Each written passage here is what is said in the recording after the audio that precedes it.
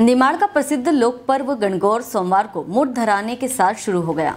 सोमवार को श्रद्धालुओं ने माता की बाड़ी में पहुंचकर बाँस की टोकरियों में गेहूँ अर्पित किए।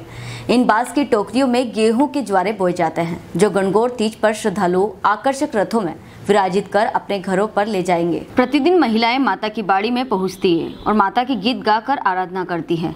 धर्मपुरी के दसोड़ा में परंपरागत रूप से माता की बाड़ी बोई जाती है। माता के ज्वारों के लिए महिलाएँ छोटी छोटी टोकरियों में गेहूँ भरकर बाड़ी में देने जाती है।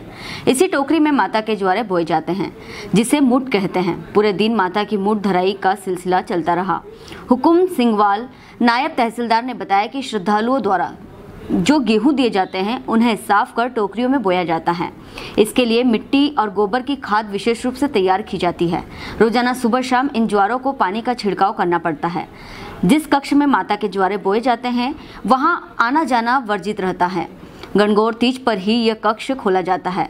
इस वर्ष 200 से अधिक टोकरियों में ज्वारे बोए गए हैं। मुठ धराई के साथ नगर में माता के गीत गुंजने लगे हैं। एकादशी से लेकर गणगौर तीज तक प्रतिदिन महिलाएँ माता की बाड़ी में जाकर माता की आराधना कर गीत गाती हैं। गणगौर तीज पर माता को जब श्रद्धालुओं के घरों पर ले जाया जाता है, उसके बाद घरों पर माता के गीत गाए जाते हैं। गीत के बाद प्रसाद के रूप में तमोल धानी का वितरण किया जाता है। धर्मपुरी से सुनील वास्कले की रिपोर्ट। हेलो फ्रेंड्स आप देख रहे हैं हमारा channel S W twenty four news हमारे सारे वीडियो सबसे पहले देखने के लिए आप हमारे चैनल को सब्सक्राइब करें और पास में लगे बेल आइकोन को दबाना बिल्कुल भी ना भूलें।